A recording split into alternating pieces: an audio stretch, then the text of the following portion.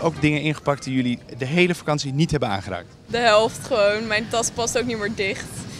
Nee, we moesten met z'n tweeën erop gaan zitten om hem dicht te krijgen. Ja, ik ben bang dat hij nu is uitgescheurd. Nee, we mochten 20 kilo, ik had 17,1, dus eh, ik zat er mooi... eh, Ik had 17 met 2. En- En alleen zwembroeken mee, hè? Zwembroeken en eh, een paar t-shirtjes. Wat is nou iets dat je volgende keer gewoon echt niet meeneemt? Nee, nee, dat zou ik niet kunnen zeggen, want het gaat gewoon met hetzelfde, denk ik.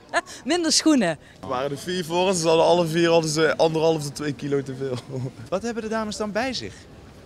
Krultang. Krultang. En eh 500 shirtjes die ze toch niet aandoen, denk ik. Ik had ehm, tien korte broeken mee, waar ik er maar vijf, nou niet eens, vier van gedragen heb. Moesten de spullen van jou weer bij hem in de koffer? Nee, alleen één toilettasje. Ja, maar die was wel het zwaarste. Wat is jouw top inpaktip? Nou, ik doe het iedere keer weer verkeerd, dus ik, ja, ik stop er altijd nog meer in. Spreek met één iemand af om tandpasta mee te nemen of zo. Want ja, hoezo zou je voor 10 dagen met z'n drie, drie verschillende tandpasta's meenemen?